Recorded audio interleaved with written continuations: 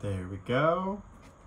Hello, everyone, and welcome to another episode of the In Michigan podcast. I am your host, Ryan Redoute, aka That Michigan Guy on TikTok and Instagram. And in today's episode, we are going to be talking about the Michigan and Ohio War. Yes, there was one. I'll explain what it was about later on. But before we dive into that, just kind of want to talk about what's going on in Michigan now. It's going into fall. Fall is here as when I'm recording this. The leaves are already starting to change depending on the species, I guess. I don't know. But driving around, the colors are starting here. I'm looking out at my backyard right now and it is already starting to look beautiful a little bit. I can see little colors popping up. I can see things changing. Things are red in front of me, they're green. So I'm very excited.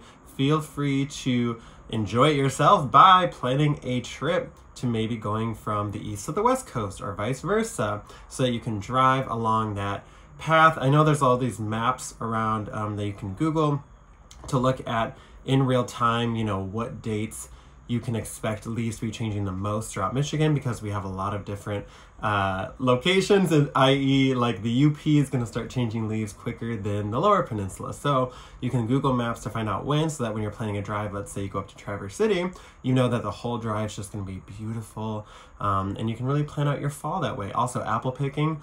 I just went apple picking for the first time myself, and it was actually pretty fun, and the apples were definitely fresh and tasty. Specifically, Michigan grown apples, I found out are, you know, because of the environment we have, Michigan's uh, apples tend to be very delicious. So make sure you check out your apple orchards, get your donuts, everything. Um, and yeah, just be enjoying the fall energy. I think that's our goal right now as Michiganders. Now that summer's over, we can start layering a little bit, even though it's kind of hot right now. it's gonna be cold in about two days. Uh, that's just the Michigan way. Just wait five minutes and the weather changes. But uh, I hope you all are enjoying your fall.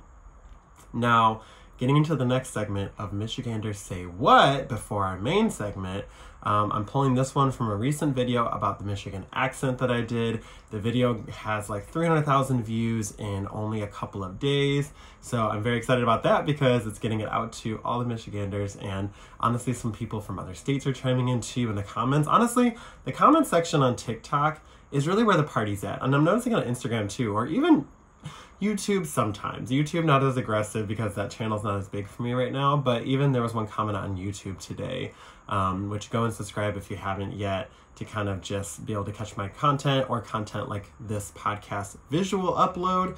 Um, you can check it out there on YouTube. But this one comment today particularly was just very funny. So the comment section on all of these social platforms really uh, can become their own social media platform in themselves, their own community. So be sure you're checking those out. Feel free to comment and at me if you would like to, maybe talking about this episode in relation to something, or just shoot me a message. I'm open to chat a little bit.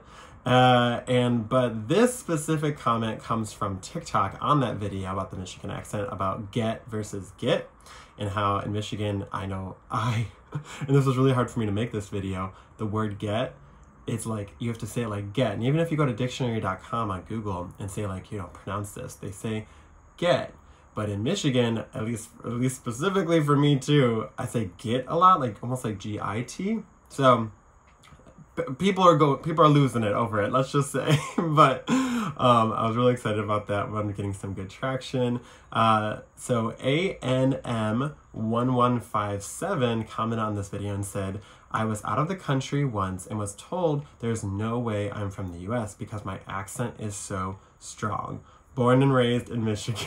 and I honestly resonate with this a lot because there was one time I was in Denver and this kind of helped spark my whole Michigan accent journey. But I was in Denver and someone came up to me and said, Are you British? And I said, What? And they were like, Oh, your accent. And I was like, What? Hold on. British? Like that that just boggled me. So it can be kind of interesting though what you find out and just like I mean, even just someone I met recently, I, I the way they were talking, I was like, oh my gosh, your accent is so strong. Like, are you from Michigan? Are you from maybe like the UP or from Wisconsin? And they're like, no, born and raised here. So I feel like we do get a lot of those Wisconsin, even like New York influence, and I talk about that in a couple of videos of how the how New York people who are in New York came to the Michigan area, and that's what inspired the Michigan accent a little bit too. Um, just a lot of things. Canada, we get a lot of influence from the states around us with our accents. So it's really interesting stuff, though. Uh, so thank you for commenting, ANM1157. I always like, I always like reciting the names. Uh, but going into our main segment today, I want to talk about the Michigan and Ohio War. It was from 1835 to 36, so it's a very short war. No one died. There wasn't a lot of destruction because we're Michiganders. We don't do that. We're not that vibe. Like we are friendly energy. I'm sure even in the 1800s maybe. Um, but it was really over this area of land called the Toledo Strip, which you can imagine is where Toledo is. And Toledo is, I mean, I even have friends who I see weekly who are from Toledo. So it's that close to Metro Detroit. Um, but Ohio was like, it's ours. Michigan said, no, no, no it's ours. Um, and actually, Congress had to get involved because they could not come to an agreement. Meanwhile, and this is an important factor in the story, the UP was not part of Michigan yet. The UP was just this land that was not taken up yet, um, and no one was doing anything with it. Everyone thought that it was useless, that it was just kind of like this nothing land. So the war's happening. They're trying to make decisions. Congress gets involved in this Ohio Michigan war, um, which I believe the official name of the war is called the Toledo War. Yes. So it's not really the Michigan Ohio War, it's the Toledo War. But in the end of all of this decision making, Congress deemed that Ohio would get Toledo and Michigan would get three fourths of the UP which was thought this honestly this whole this podcast is turning into more how did the michigan get the upper peninsula? Because as you see and i've actually talked to people from wisconsin about this a lot of it's over wisconsin. Like you're like wait how did michigan end up getting this? So it was through this um, and three-fourths of the up went to michigan in this agreement meanwhile toledo or meanwhile ohio got this 50 mile long strip of land that included Toledo. So Ohio is sitting there being like, "Oh my gosh, we did it! We knew we won." Um, this is on, I feel like this really honestly started the Ohio Michigan kind of um, battle, the royale, the battle royale, the competition. Um, so Ohio is sitting here like, "Oh my gosh, I got this 50 mile strip. We got Toledo. We won."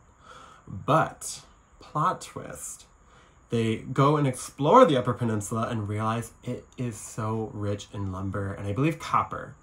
Um, so it has all of these natural resources. And Michigan's like, wait, we got a great deal. They, they lost Toledo, but they got all of these natural resources. So, in my opinion, I feel like in the end, Michigan actually won.